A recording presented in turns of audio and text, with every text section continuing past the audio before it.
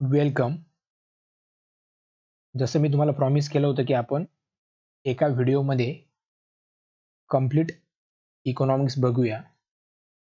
But unfortunately तो video record करणे possible झाला नाही. ॲज पर माझा जो प्लॅन होता की फ्रायडेला आपण संध्याकाळी पूर्ण पी पी टी कंप्लीट करून ठेवूया.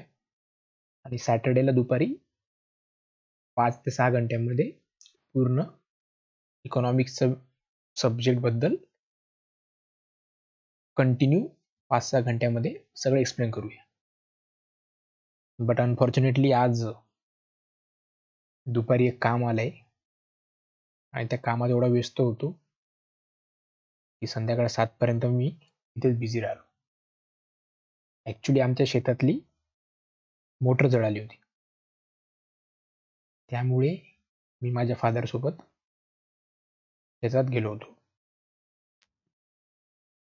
दोन टेक्निशियन होते. त्यांनी ती मोटर बाहेर काढली. त्यानंतर शेतातून आम्ही ती मोटर घेऊन शहरात आलो. तिथे आम्ही तिची रिपेअर आणि बाकीच्या ज्या गोष्टी करायच्या त्या केल्यात. आणि परत शेतात गेलो आणि मग शेतात इलेक्ट्रिसिटी किंवा लाइट नसल्यामुळे तिथे आम्हाला टेस्टिंग करता नाही आली. लाइट संध्याकाळी साडेसहा वाजता मी साडेसहा वाजता ते चेक केले मोटरवरचं त्यानंतर मी सात सव्वा सातला घरी आलो. त्याच्यामुळे तो व्हिडिओ काही झाला नाही. आता उद्या संडे आहे. ॲक्च्युली आपला दोन जानेवारीला पेपर होता. ज्या दिवशी न्यूज आली की पेपर कॅन्सल झाला आहे त्याच दिवशी मी संडेला माझ्या फोर व्हीलरची सर्व्हिसिंगसाठी अपॉइंटमेंट घेऊन ठेवलेली. त्यामुळे उद्या अकरा ते पाच कम्प्लिटली बिझी आहे मी. त्यामुळे उद्या पण पॉसिबल नाही आहे आणि फक्त सॅटर्डे आणि संडे हे दोनच दिवस मला हा व्हिडिओ रेकॉर्ड करण्यासाठी वेळ मिळू शकतो. दर सोमवार ते फ्रायडे मला माझं पर्सनल वर्क राहते. त्यामुळे एक्स्ट्रीमली सॉरी तो व्हिडिओ काही झाला नाही. बट मी सोमवार ते शनिवार म्हणजे जो आपण एक व्हिडिओ करणार होतो तो मी रोज वन अँड हाफ आवर किंवा टू आवरचा रेकॉर्ड करून जसा वेळ मिळेल तसा अपलोड करेल आणि पुढच्या वीकमध्ये मी इकॉनॉमिक्स कंप्लीट करेल. बट तो आता एका लेक्चरमध्ये कधीच होणार नाही तो व्हिडिओ कारण की एकाच लेक्चरमध्ये पूर्ण व्हिडिओ बघायचं पाहिजे असेल इकॉनॉमिक्सचा तुम्हाला पाच ते सहा घंटे द्यावे लागतील. आणि ते पाच ते सहा घंट्यामध्ये मी ज्या इम्पॉर्टंट गोष्टी आहेत त्याच एक्सप्लेन करू शकतो. ओके तर तुम्ही ही पीपीटी बघू शकता. मी कम्प्लिटली पूर्ण बनवलेली आहे. सांगतोच मी थोड्या वेळात पीपीटीमध्ये काय काय आहे ते. पाच ते सहा घंटे मिळण्यासाठी परत मला सॅटर्डे संडेची वाट बघावं लागेल. म्हणजे ती नेक्स्ट सॅटर्डे संडे जाईल. त्यापेक्षा मी दोन दोन तास रोज टाकतो. आणि या वीकमध्ये इकॉनॉमिक्स कंप्लीट करतो. मला पण खूप म्हणजे डिसअपॉइंटिंग किंवा फ्रस्ट्रेटिंग आहे असं वेळेवर जी गोष्टी ठरवल्या त्या झाल्याने की जीवार येते. पण ठीक आहे. आज पहिलाच दिवस होता दोन हजार बावीसचा आणि मला वाटलं होतं की आपण एक चांगला व्हिडिओ आपल्या सगळ्या मित्रांसाठी टाकूया.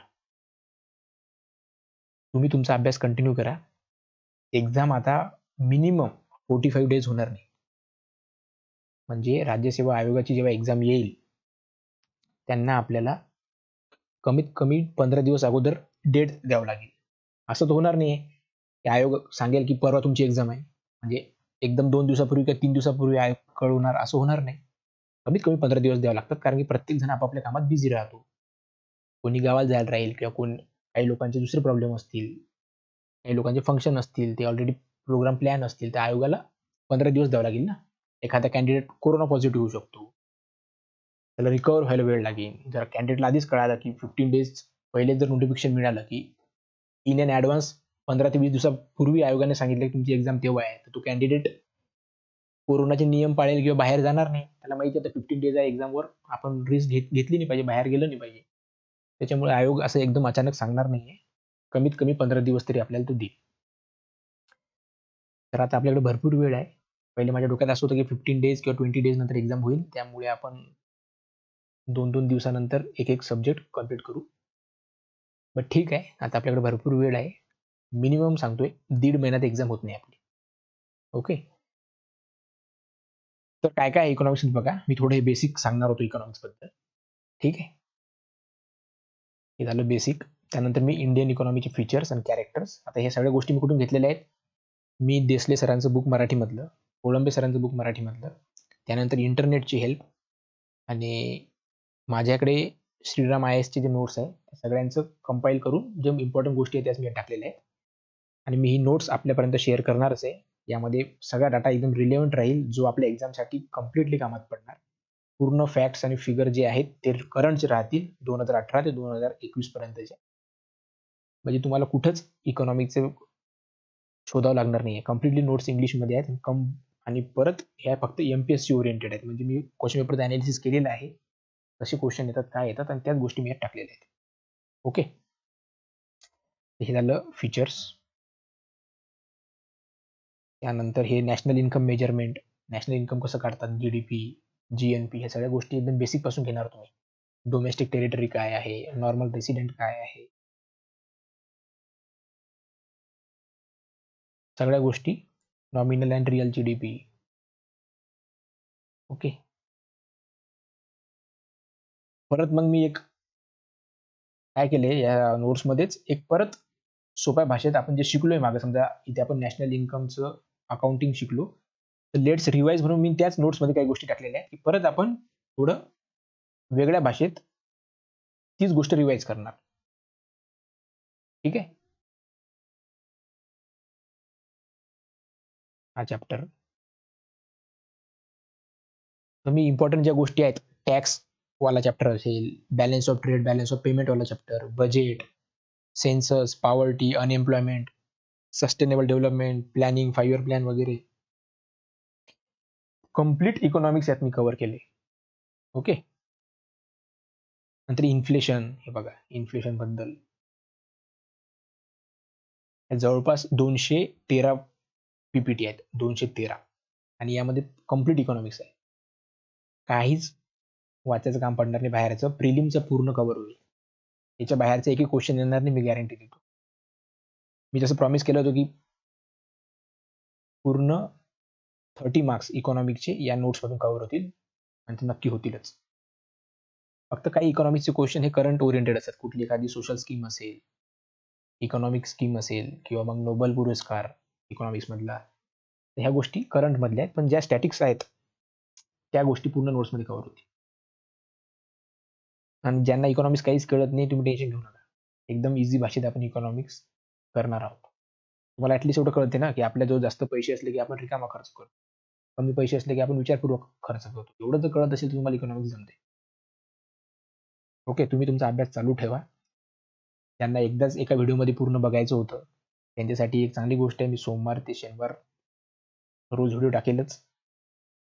आणि तुम्ही एकाच दिवशी मग रविवारी तो व्हिडिओ चार पाच व्हिडिओ एकदम कंटिन्यू बघून घ्या.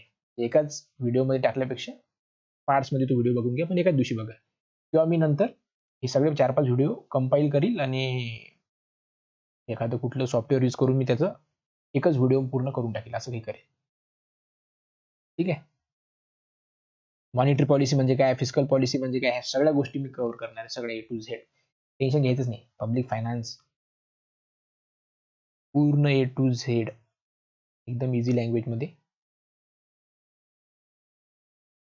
बघा fiscal policy monetary policy objective of fiscal policy functions of public finance budget बजेटमध्ये काय काय आहे?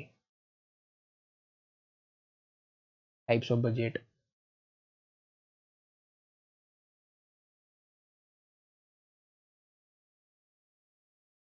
ओके इथं परत बजेट आले म्हणजे लेट्स रिवाईज बजेट या नोट्समध्ये काही गोष्टी डबल रिपीट झालेल्या आहेत. ते कारण की काय? एकदा मागचं वाचल्यावर पुढचं विसरून जातो आपण किंवा पुढचं वाचल्यावर मागचं विसरतो. याच्यामुळे मी परत परत त्याच ठिकाणी रिवाईज एक ऑप्शन टाकलेला आहे. आपण काय बघितलंय? त्याचं एकदम सिंपल भाषेत रिव्हिजन हे बघा लेट्स रिवाईज बजेट इथेच मग सगळ्या गोष्टी.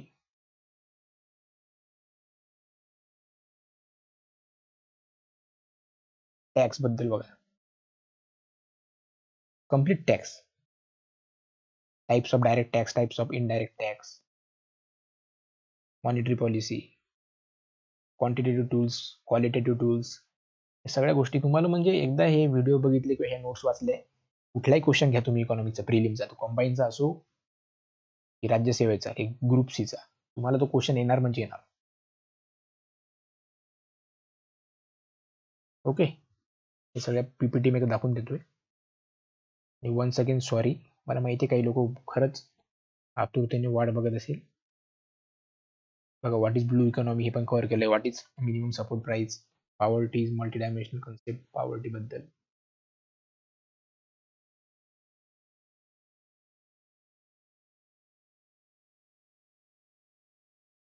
मला पण आज थोडं लो फील होतंय. कारण की जी गोष्ट प्रॉमिस केली ती कंप्लीट झाली नाही मला पण थोडी जिवार येतेच ठीक आहे काही गोष्टी असतात. तेरा वर्षांनंतर आमची मोटर बिघडली. त्यातली. आफ्टर थर्टीन इयर्स तेही समजा आजच बघड बिघडली नवीन वर्षात. Balance of trade and balance of payment हे बघा. सगळ्या गोष्टी मी यात कव्हर केल्या. Top ten export commodities top ten top ten countries to which India export the most top ten import commodities top ten countries from which India import the most